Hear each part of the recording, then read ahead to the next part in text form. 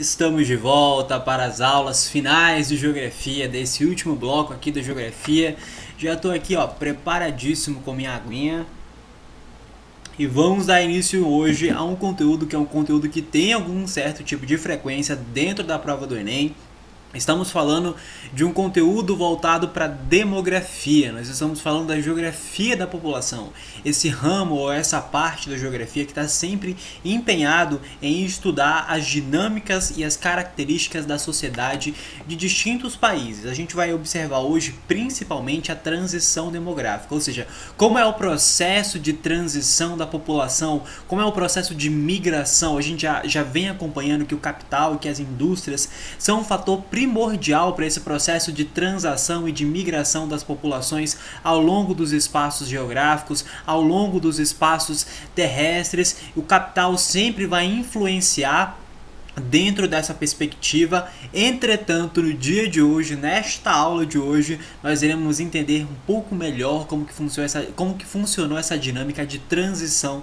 da população mundial, ok? A gente vai falar um pouquinho também sobre o crescimento da população mundial. A aula de hoje, ela não é uma aula tão complicada, é uma aula super teórica, mas que tem alguns tipos de gráficos que vocês precisam observar, mas são gráficos super de boas, é, e então você vai acompanhar isso na aula de hoje. Entretanto, para dar início, a gente precisa conceituar, pelo menos dar assim uma pequena introdução sobre o que vem a ser esse conceito, o que, que é o crescimento populacional. Professor, o que é o crescimento populacional? O crescimento populacional ou crescimento demográfico, ele é um conceito que corresponde ao aumento da quantidade de pessoas existentes dentro do globo terrestre. É interessante a gente observar aqui um ponto interessante. Quando a gente fala de crescimento populacional, a gente está levando em consideração toda a população ou todas as sociedades que residem dentro do globo terrestre. E aí não vai importar, senhoras e senhores, a origem a localização dessas populações, se elas estão nos, nos espaços urbanos, se elas estão nos espaços uh, rurais, é, em áreas de preservação ambiental, enfim, não interessa. A, a, o crescimento populacional é medido principalmente pela soma total de habitantes do globo terrestre, ok? É, a gente precisa também entender que ao longo da história existe um, uma variação desse crescimento. Em períodos houve um crescimento muito alto, é, houve um crescimento que foi muito grandioso, né, graças à tecnologia, graças aos avanços de medicamentos, é, e, entre outras coisas, e existiram outros momentos que o crescimento ele foi mais retido devido a epidemias, devido à ausência de vacinas, devido a uma série de fatores que influenciaram diretamente no crescimento populacional, ok? Quando a gente fala de crescimento da população de um determinado país, é interessante a gente observar que existem algumas logísticas muito importantes a serem observadas. Que logísticas são essas, professor? O que faz uma população crescer mais ou o que faz uma população crescer menos? Antes de mais nada, eu preciso te lembrar que a, a, a, a população mundial ela é, ela é, concentrada, ela não é, concentra, ela não é, é, distribuída de maneira igualitária. É uma, distribui, é uma distribuição concentrada em países principalmente pobres e emergentes. Isso é muito interessante observar, isso é muito importante de ser falado, porque a, a população em países pobres, em países emergentes ou em continentes pobres e continentes emergentes, se deve a fatores econômicos e se deve também a fatores de acesso à, à medicação, a coisas nesse sentido. Já vamos entender isso quando a gente falar da transição demográfica, que é um conceito bem interessante ok? Mas o aumento da população de um país ele tem algumas características que precisam ser levadas em consideração. Exemplo, quando a gente fala de crescimento populacional, a gente precisa observar a melhoria da qualidade de vida da população. E aqui vai englobar uma série de fatores que não são só é, medicamentos, por exemplo. Quando a gente fala de melhoria da qualidade de vida da população, ele está diretamente direcionado à expectativa de vida dessa população. Você deve, você deve lembrar que quando a gente falou é, de, de classificação de países, um dos quesitos era a expectativa de vida. E a expectativa de vida, né, o, a melhoria da qualidade de vida, ela é medida por distintos fatores, né? Que fatores são esses? O acesso ao trabalho, o acesso a democrático à economia, saneamento básico, educação, saúde, políticas públicas, enfim, é um conjunto de fatores que precisam ser estabelecidos dentro de um determinado país que vão contribuir para que uma determinada população viva mais ou viva menos, né? Querendo ou não, gente, a gente precisa observar que o capital é, ele vai influenciar diretamente no acesso a vacinas ou no acesso, no acesso a medicamentos para cura de determinada doença. Né? Então, é, existe uma logística de qualidade de vida, existe uma expectativa de qualidade de vida que está li diretamente ligada a esses fatores, principalmente a saneamento básico. Né? A gente vai observar que antes do século XVIII, por exemplo, a Europa era um país era um continente essencialmente rural. Era um, um continente essencialmente rural que tinha muita doença, muita prolifera proliferação de doenças ao longo da sua história, ok? Já vamos entender isso. Próximo fator é o avanço das áreas da medicina e da tecnologia. Aqui é muito importante a gente observar que é essencial para um país desenvolver-se cientificamente. É importante, é primordial para determinado país, para determinada região, para determinado continente ter avanços nas ciências, principalmente na área da tecnologia e na área da medicina. Né? Observe o seguinte: a gente está em um período pandêmico, a gente está num momento de pandemia, né? a pandemia do novo coronavírus, essa mutação que aconteceu é, lá em que teve início em novembro de 2019 e que perpetuou-se ao longo de 2020, né? surgiu lá em Wuhan, na China e somente quase que um ano depois a gente tem o desenvolvimento de uma vacina que pode é, oferecer imunidade para a população global no caso, né? Quando a gente fala de avanços na, na área da medicina, é interessante a gente observar isso o estado ou o país ou a região ou o continente ele tem que assegurar a saúde da sua população. Ele tem que desenvolver medicamentos ele tem que desenvolver mecanismos que façam com que a população que a sua população que a população que vive nessa determinada região ela se mantenha saudável.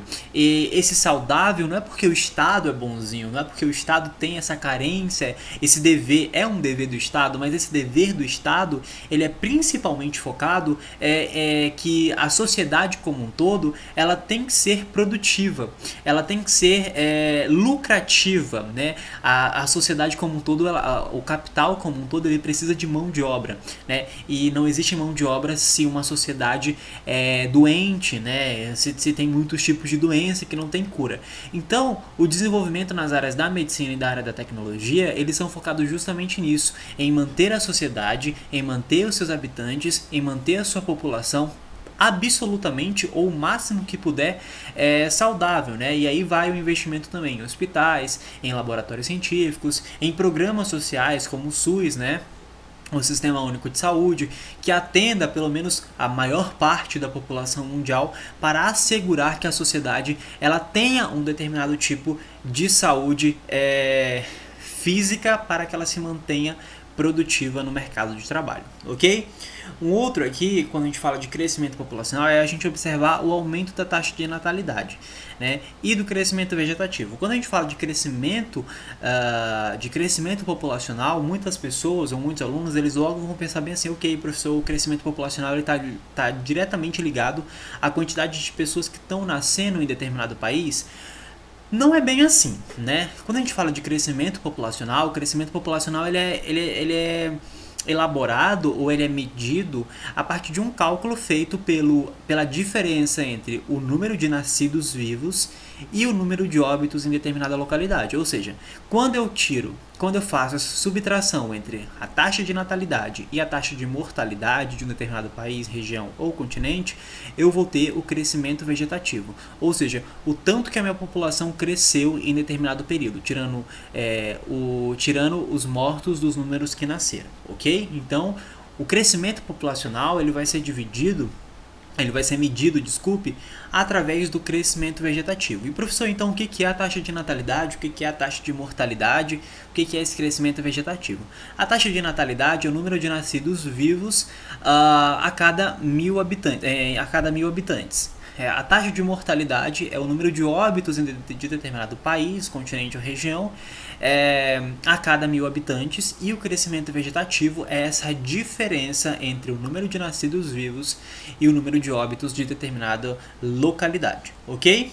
E aí a gente precisa falar também da, do, da diminuição do índice de mortalidade infantil. Observe o seguinte, que na, basicamente todos esses quatro fatores que eu trouxe para vocês observarem sobre crescimento populacional ou sobre essas características do crescimento populacional em determinado país ou região, eles estão diretamente ligados à saúde, né? E é importante mais uma vez reforçar que a saúde, dentro desse sentido, ela está é, quase que diretamente voltada para transformar a população dessa localidade em, é, em força bruta, né? Para o capital, para a produção do capital em determinado país.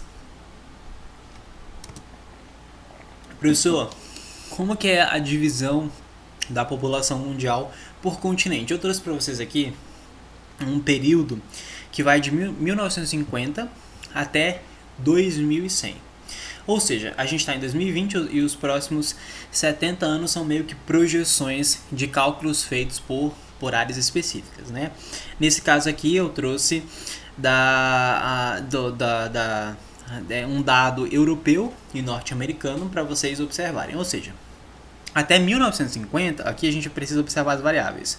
A população, né, é, por milhão e o período temporal, né, é por continente, então o vermelho significa África, o azul significa Ásia, o amarelo Europa, o azul mais clarinho uh, América Latina, uh, América Latina, gente, América do Norte e a Oceania. Uh, vamos lá. América do Sul, desculpe. Então, ó, observe que em 1950 a gente tem a Ásia sendo o principal país, o principal continente que tem uma população exponencial, né? A gente tem na Ásia, inclusive, os países com maiores quantidades de pessoas e, e densidades demográficas. Né? A gente tem a Índia, a gente tem a China, a gente tem países que a população é muito grande e a densidade demográfica dessa população também é muito grande. Então observe que a, até a, a, partir de 1950, a Ásia ela segue nesse ritmo acelerado e somente a partir de 2070, mais ou menos, né, 2040, 2050, que existirá uma queda no número de é, habitantes da África, no número de nascimentos, no número de crescimento, do, o, o número de crescimento vegetativo. É, uh, os países como Europa, América do Sul, América do Norte e a Oceania, eles têm meio que uma estabilidade, né? E um, um, continente que é super pobre, que é super sofrido por conta uh, do processo histórico que foi totalmente explorado e é explorado até os dias atuais, o continente africano, ele foi, é, ele está em uma crescente e que ainda até 2100 ele continuará nessa curva ascendente de crescimento populacional, de crescimento vegetativo, né? reforçando mais uma vez a vocês que a população ela principalmente se concentra em países que são pobres ou emergentes, né? isso devido à ausência de planejamento, isso devido à ausência de acesso a medicamentos anti, anti, é, contra é, é, anti, é, anticoncepcionais, coisas nesse sentido, né? acesso a camisinhas, é, a programas de, de controle social, coisas nesse sentido, ok? Bom, e aqui a gente, eu trouxe para vocês um contexto mais geral sobre a população mundial, né, que é o crescimento da população mundial. Eu trouxe para vocês esse, esse gráfico aí, que é um gráfico super louco que eu preciso que vocês prestem atenção para que vocês consigam entender. Esse gráfico ele, é, ele, ele, é, ele tem como nome transição demográfica, gráfico de transição demográfica. E ele é dividido principalmente em quatro etapas. A primeira etapa é a fase pré-transição, a segunda etapa é a etapa de aceleração demográfica, a terceira etapa é a desaceleração demográfica e a quarta etapa é a estabilização demográfica. Tudo isso tem um sentido muito importante. Bom, esse gráfico ele está dividido da seguinte forma: a taxa, é, o número de habitantes, né, nascidos ou mortos, e o tempo, ou seja, habitantes versus o tempo. Vamos lá, vamos com calma que a gente vai conseguir fazer esse trabalho com vocês. Bom, essa primeira fase aqui é a fase pré-transição. Antes de mais nada, eu preciso explicar para vocês como que funciona. Ó, a linha vermelha ela significa o número de nascidos vivos. A, a, linha azul significa a taxa de mortalidade, o quanto morreu em determinada sociedade. E a linha é o crescimento vegetativo, né? é a capacidade de crescimento da população de, uma determinada localidade. Por que, que é importante estudar essa transição? Por que, que é importante ter essas características da população de uma determinada localidade. É importante o seguinte: imagine você em uma festa, imagine que você vai, vai é, montar uma social na sua casa. Você precisa ter o controle de quantas pessoas vão, de quantas pessoas confirmaram, de quantas pessoas comparecerão, de quantas pessoas vão só beber ou se vão comer, enfim. Por que, que você precisa ter o controle dessa população? Porque você precisa comprar insumos necessários que atendam toda a população que você receberá na sua festa. Ou seja, se vão 50 pessoas para minha festa, eu não posso comprar é, cerveja só para 10 pessoas né? Ou eu não posso fazer comida somente para 10 pessoas, sendo que o número é 50.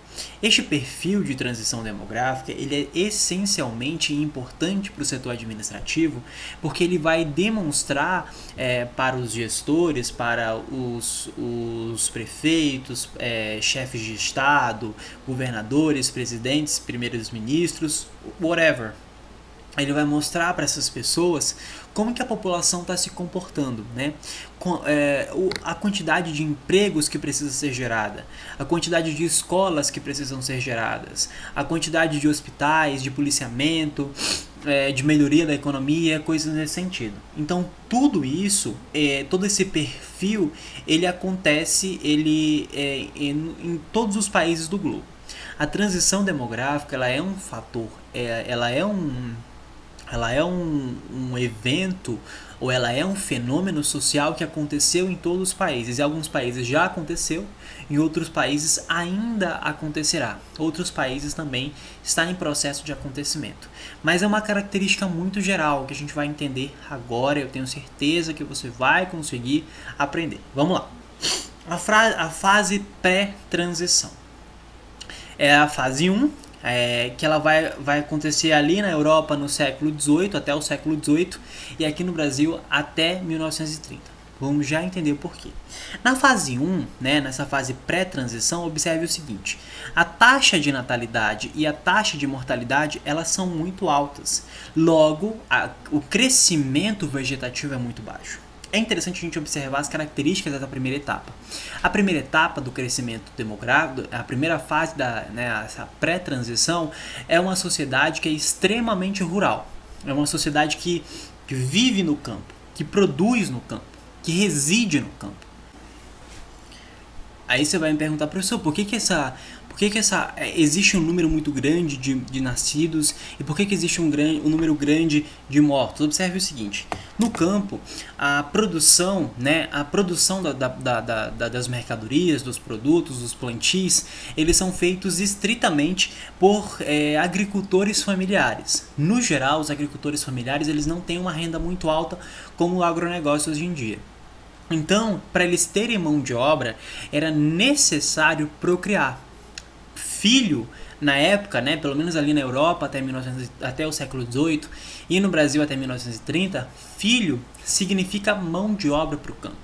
É importante procriar, é importante ter muitos filhos, porque os filhos vão ajudar na produção, no plantio, na colheita de determinados produtos que aquela unidade familiar que reside no campo vai é, produzir. Né? E aqui a gente precisa também observar o seguinte: por que, que existe muitas mortes?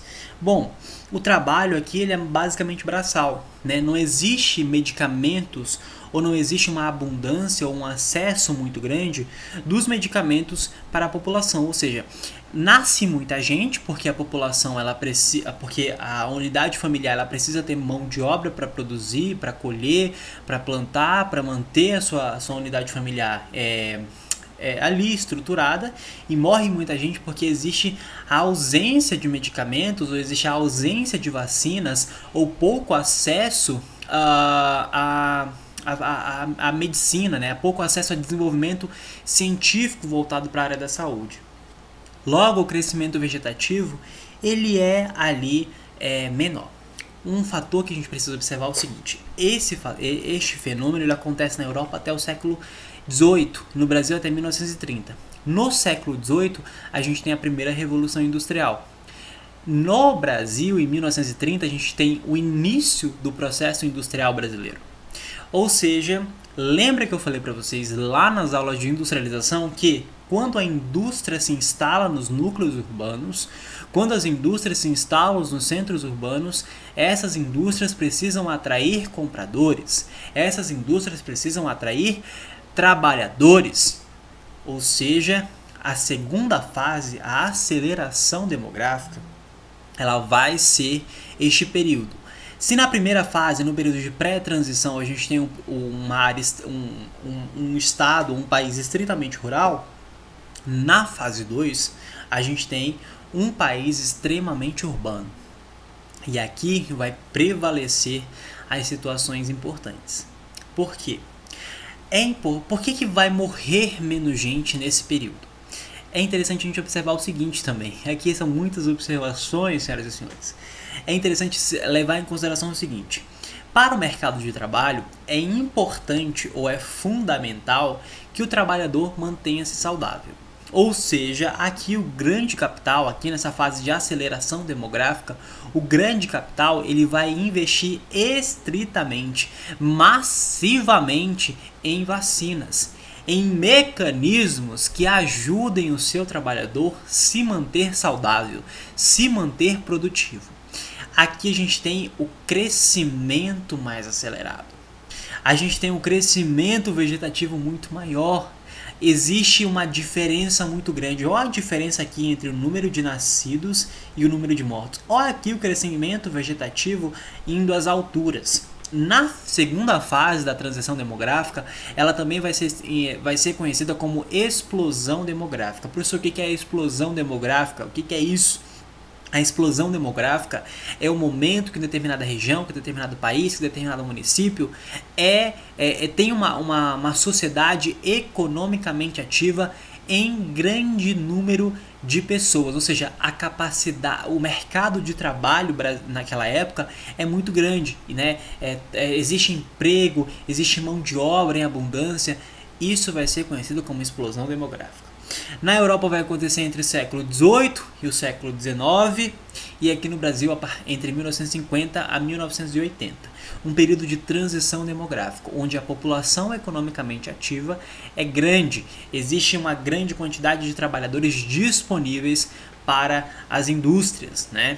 E aí a gente vai observar o seguinte, que ainda assim nesse período de transição, ainda que o homem, ainda que a sociedade, ainda que a mulher, ainda que a família tenha ido para os centros urbanos, até o século XVIII, até o século XIX, desculpa, a gente não tem ainda a presença da mulher no mercado de trabalho. A mulher ela vai exercer exclusivamente os serviços domésticos. Ela vai se manter dentro de casa. E aí, nesse período de desaceleração demográfica, é importante a gente observar isso. Porque a partir de 1940, né? A Europa viveu isso entre 1940 e 1970, o Brasil entre 90 e os anos 2000. A gente vai ter a luta das mulheres, a luta de direito de trabalhos pelas mulheres. A mulher vai falar desse irmão, para, eu quero trabalhar, eu quero liderar, ainda que a gente precisa, eu estou falando isso, mas é importante a gente observar que o número de mulheres que é, estão em cargos grandes é, é muito inferior. O número de mulheres que ganham, que, que exercem um trabalho igual, igual de homens recebem remunerações super inferiores por serem mulheres. A gente precisa reconhecer que a sociedade patriarcal ela se manteve machista dentro do setor econômico, é, inferiorizando a mulher tanto nos no sentidos sociais quanto nos sentidos econômicos né, inferiorizando ela pelo seu trabalho. Né? Uma mulher, para ser reconhecida, ela precisa é, fazer o trabalho dez vezes maior que um homem. Né? Isso vai em todas as localidades, né? desde a música ao cinema, ao, ao mercado, tudo. Né? Mas quando a gente fala de desaceleração do crescimento demográfico, a gente vai observar que aqui nessa etapa a gente vai ter um conceito de planejamento familiar. As famílias vão começar a se planejar. as famílias vão começar a ter menos filhos. Aqui ainda a gente tem famílias que têm 5, 6 filhos. Né? Aqui a gente tinha famílias que tinham 18 filhos. A minha bisavó, por exemplo, ela teve 8 filhos. 8 filhos. Né? Então aqui a sociedade ela já vai estar tá mais diferente. Né? A mulher já vai exercer cargos trabalhistas, ah, existirá o planejamento familiar, o avanço da medicina é maior neste período, né? existirá métodos contraceptivos, camisinhas, é, é, anticoncepcionais, né? procedimentos, tudo isso vai influenciar as famílias. Neste período também, a família não vai mais querer ter 8, 18, 10 filhos, não. Aqui no máximo dois. E você pode encontrar gente que nem quer ter filho. Né? É super normal isso dentro da sociedade atual. Eu, por exemplo, eu não quero ter filho. Né? Não, não acho. Não acho não, tenho certeza que não quero ter algum um filho, né? Mas tem gente que quer. Mas vai perguntar, você quer ter 18 filhos? Você quer ter 10 filhos? Né? Tanto que, primeiro fator, tempo. Segundo fator, econômico. E o terceiro fator, que é um dos mais principais, o planejamento familiar. Nesse período, haverá então a desaceleração do crescimento. Um crescimento vegetativo que ele vai começar a diminuir. Ok?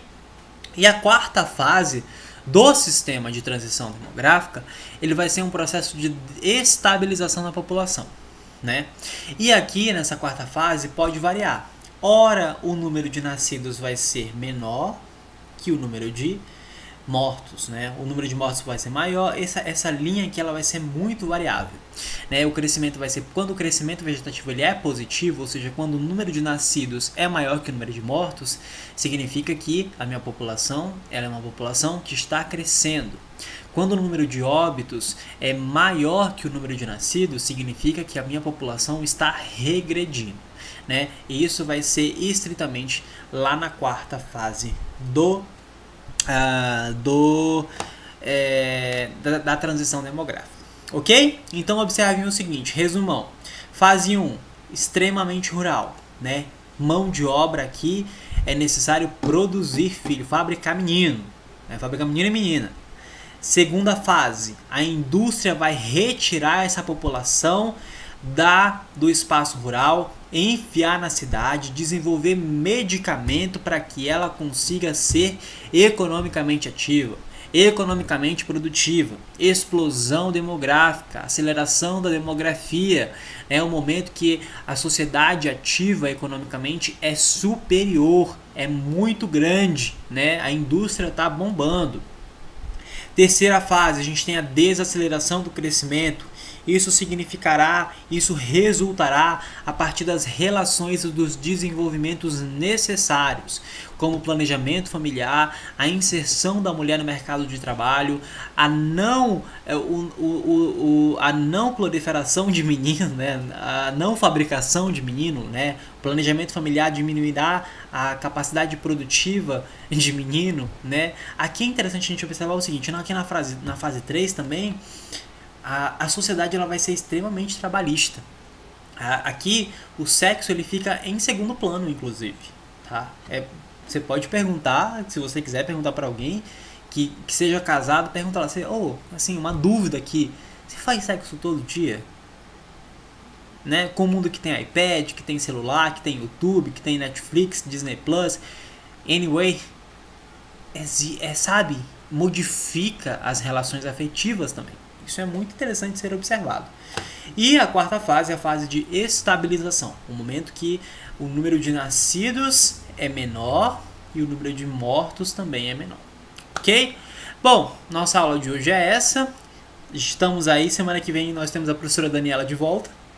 Eu volto aí para finalizar essas aulas. A gente já tem mais cinco aulas é, com vocês. Espero que vocês estejam aprendendo, estejam, é, estejam aprendendo e que vocês consigam fazer uma prova muito boa. Eu volto no futuro, a gente tem aula de atualidades essa semana.